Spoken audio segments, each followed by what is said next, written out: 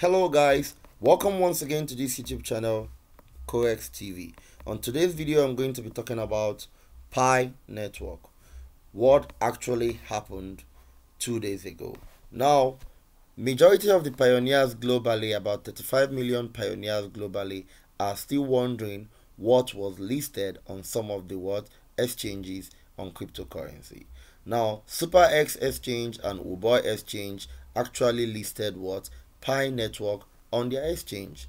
But then, majority of the pioneers are still speculating, could this be a fake Pi or is this the real Pi? But then nobody knows. So that's why you're here because I'm about to explain to you what was actually listed two days ago.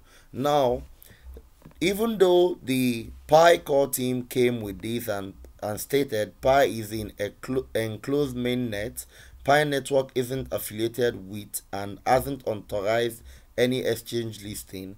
For me, I feel this is not what a reasonable explanation. Because if they want to deny the fact that they are not associated with this, they need to deny it accurately. And when they do this you will see the price of this Pi will fall from this 229 dollar it is it will fall down to what? To about zero. Because they haven't yet what denied this their their association with this. That's why this coin is still averaging around 200 dollar now see one of the first things i'm going to tell you.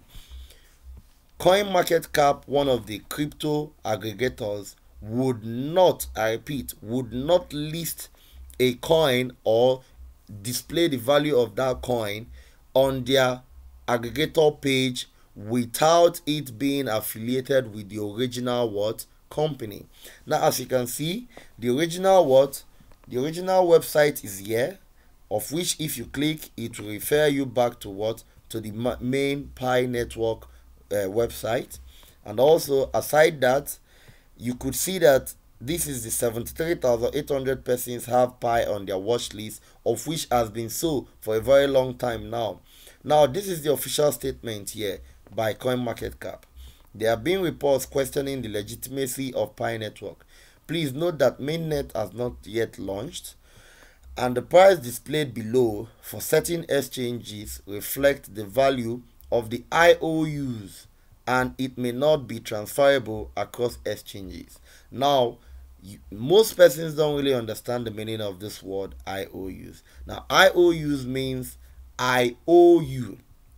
So, these exchanges listed a a how, how will I call it? A virtual Pi.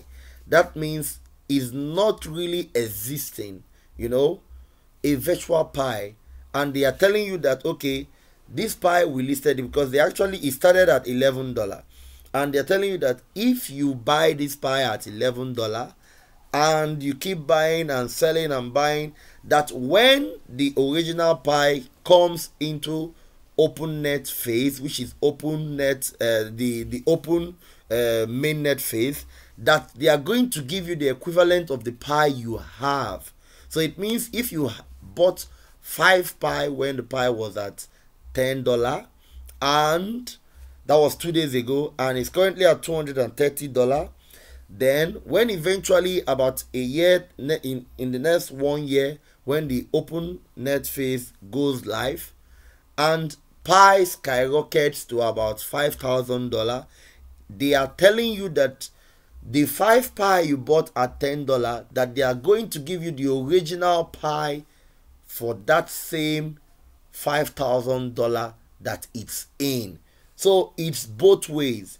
So if you bought it at ten dollar and when the main pi list you understand on various exchanges and it crashes down to about 0.0 dollar it means you have also lost. But if it pumps it means you have gained. So it's just like future trading. So this is just like a listing of a what a listing of pi in the future zone but it's around the spot what wallet area. So like let's see. Let's go through this thing here he said the acronym IOU stands for I owe you and refers to an informal document that acknowledges a debt one party owes to another. Now, the debt usually involves a monetary value but can also be related to other goods such as physical products or what or properties. Owing to the informal quality of IOU, they tend to carry a certain degree of uncertainty and unlike bonds and promissory notes are not considered a legal negotiable instrument. This means that the party in debt has no legal obligation to actually pay the debt just because they wrote down and signed an IOU. IOUs can be as simple as a piece of paper or even a verbal deal between members of the same family. In some cases, businesses may also use IOUs as a method for informally recording how much they owe to another company or to their eh, employees, for example. So, this is just an explanation of what is actually occurring with some of these centralized exchanges. So, the Pi you are seeing, it's not a fake Pi they are actually promising you as what a crypto enthusiast and also a customer or a pioneer that if you eventually buy this Pi and when the original Pi launches that means when the open mainnet phase goes live that they are going to give you the equivalent of the Pi you have when you bought it as of two days ago or within this period of enclosed mainnet phase when it was listed on their exchange. So this is just it. So it doesn't mean that it's a fake Pi. It is not a fake Pi and it is basically not also an original Pi. It is just what a virtual Pi. That's just a Pi on what basis that this is what you have, but it's not actually real.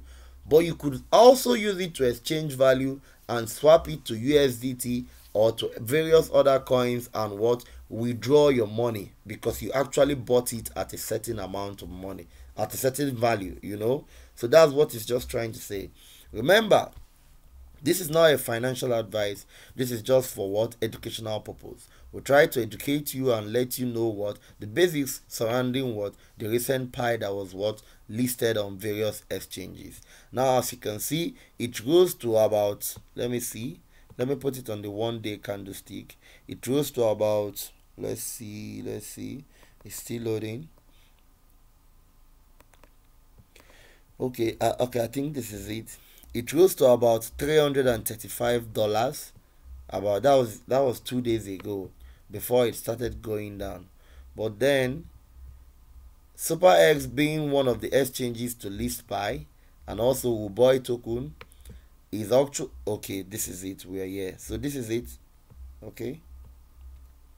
So as you can see it started at about two dollar one dollar and it pumped the first day to 42 dollar then the next day it pumped up to what to 335 dollar so in anything you are doing just be careful you know because who knows um, it may eventually not be the main Pi or it may be the main Pi. Remember, this is not a financial advice. Whatsoever you're doing, you're taking your own risk. Always do your research before you jump into any project. Okay. Now, Pi Network is aware of reports that several unauthorized third party exchanges and potential unknown third parties are seeking to list Pi or tokens purporting to be Pi or some purported derivative of Pi without the consent, authority, or involvement of Pi Network. It is important to iterate that Pi is currently in the enclosed network and is not approved by Pi Network for listing on any exchange or for trading. And Pi Network was not involved with any of these purported what postings or listings. So this is the official statement what by the Pi core team. And aside from this official statement, there's also something that they also stated. So let me go back to the coin market cap page and show you also on their what on their official twitter page where they are trying to what to discredit the the uh, actual listing of the spy and also dissociate themselves from it okay it's loading remember if this is your first time on this youtube channel i really appreciate you give us a thumbs up and also subscribe to our youtube channel so this is it so yeah here we are Participation may result in loss. Trust only official Pi channels. So don't just jump into conclusion and go and buy. Do your research. If you feel this is something you can this is a loss you could shoulder or a gain you could shoulder it's good. Go ahead. But remember this is not a financial advice okay? So thank you once again for listening to this video and what? Goodbye. Don't forget to subscribe to this youtube channel. Thank you